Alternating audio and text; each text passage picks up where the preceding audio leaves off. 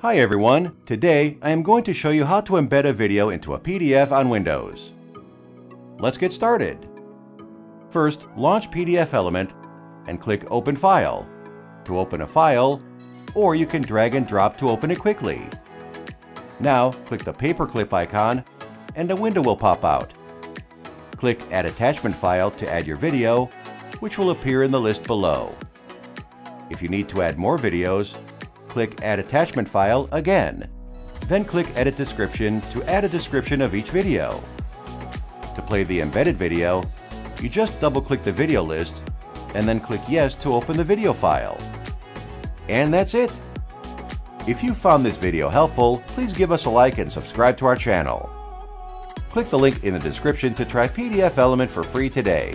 Plus, check the rest of my videos for more other useful tutorials. Thanks, and see you next time!